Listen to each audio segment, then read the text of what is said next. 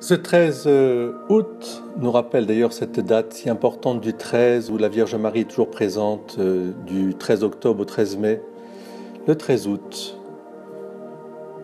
nous laisser habiter par cette présence de Dieu qui bénit la vie. C'était hier, nous l'avons magnifié, cette vie donnée par nos mamans et par la Vierge Marie en particulier.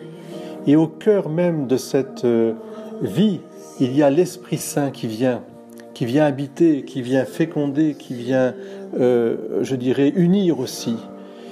Et en réponse à l'Esprit Saint, eh bien, c'est le oui de Marie.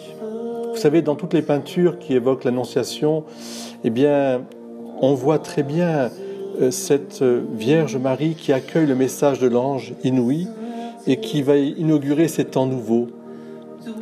Ce qui est assez admirable, c'est de voir souvent dans les mains de Marie soit un livre de la parole de Dieu, qu'elle méditait dans l'espérance de la promesse, soit une tablette toute proche.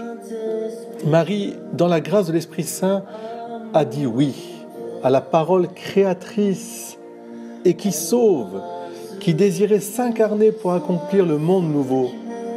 C'est vraiment le, le message de l'Assomption c'est le message aussi euh, de toute la vie de Marie, c'est le message que véhicule l'Esprit Saint.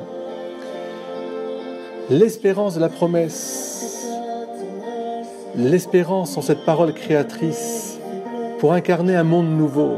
Soyons-en témoins, mais laissons-nous envahir par l'Esprit Saint qui nous fait dire oui.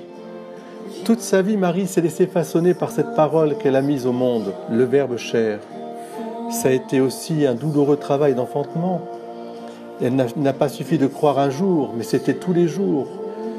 Et dans le questionnement, dans la douleur, dans l'interrogation, car il n'y a pas de religion vraie sans ce questionnement, sans cette douloureuse interrogation que Jésus lui-même a voulu porter jusqu'au sommet de la croix pour reposer son esprit ensuite en Dieu.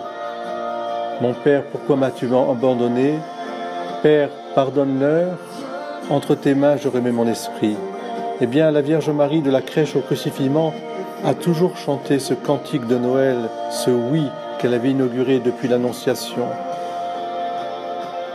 Que la Vierge Marie, en ce 13 août, nous conduise à l'Esprit Saint. Viens, Saint-Esprit, voici notre cœur. Inscris dans notre cœur ce oui oui à l'élan créateur, oui à la grâce qui sauve, oui à, cet amour de Dieu incandescent. Fais de nous les instruments de ton amour pour ce monde nouveau que nous annonçons. Amen.